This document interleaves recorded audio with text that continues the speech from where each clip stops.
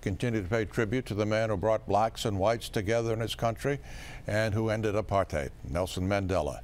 Former president of South Africa lies in state as we are hearing more about how he inspired a nation. Leon Harris has been reporting for us from South Africa. Leon joining us now from Pretoria to lead our coverage. Leon.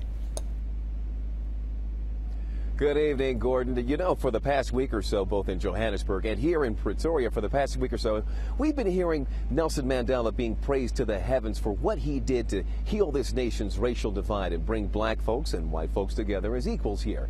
Well, with that in mind, we've kind of wondered would we see a number of white people, white faces in these crowds around this uh, national building here? And as it turns out, after a little bit of scouring of the crowd, we were able to find them. And after talking to people, it was quite clear that their commitment to, Mark, to, I'm sorry, to Mandela's legacy and to what he stood for was just as strong as anyone else's.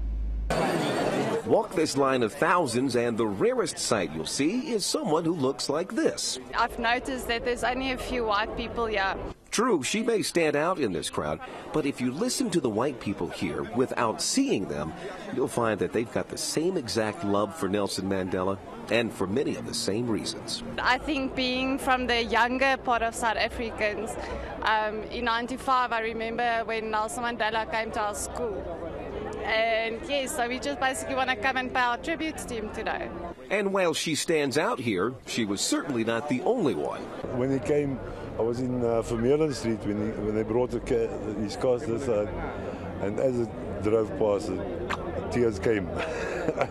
this man told us that the first time he actually even wanted to vote and did was for Mandela. This is like the 1994 elections. It's the first time I voted. I'm prepared to stand here, even if I stand here till when they close down, just to see and, and uh, experience the last gratitude. And you'd have to think that hearing that would prompt one of those famous Mandela smiles. And that was just the tip of the iceberg. Now, folks here are going to have about two more days to get a chance to get inside the National Union building behind me and say their final goodbyes to Nelson Mandela. The problem is, though, the process is so convoluted and the lines have been so long, there have been so many people who have wanted to get inside that there may not be enough time to get them all in. There may be people who wait for days in line and may never get a chance to say goodbye. But uh, they have two more days, so we'll have to hope for the very best for them. That's it for now from here in Pretoria.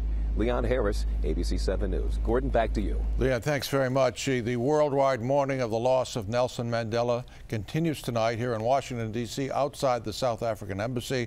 There'll be a vigil held there tonight at 7 p.m.